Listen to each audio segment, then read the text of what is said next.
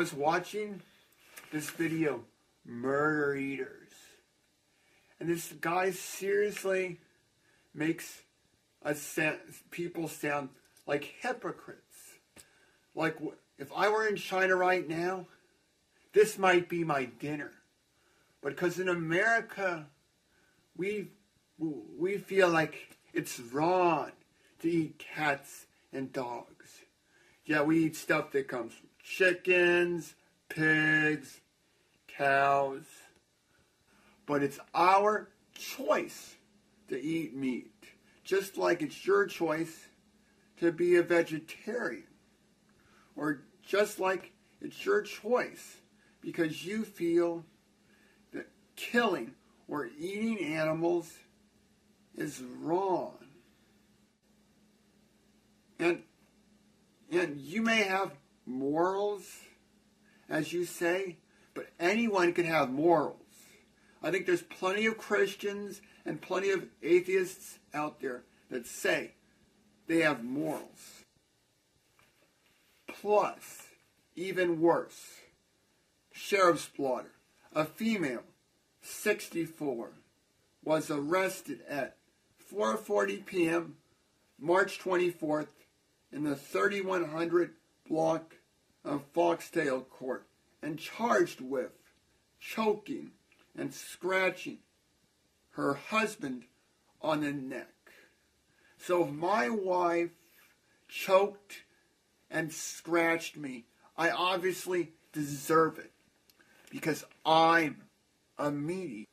But it's like this turns into an argument that if we we became vegetarian, I mean if we stopped eating all that unhealthy fast food, we'd be so much healthier. I see like the animal rights activists complaining because KFC poorly treats their chickens.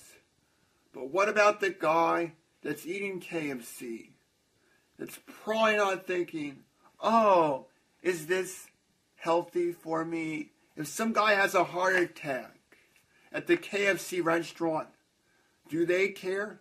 Probably not, because the chickens are more important. But this shouldn't be an argument for be, for becoming vegetarian. People should make better choices and better decisions in which you eat less red meat and you don't eat so much fast food. This shouldn't be a reason. Oh, everyone should become vegetarian because everyone has to get protein in their diet. So then you're going to have to get protein some other way. And if nobody ate meat, what about all those farmers out there? What would they do for a job? And and what would happen if, you know, I know milk does a body good, but son, don't drink that milk because you don't want to we want to be nice to the cows.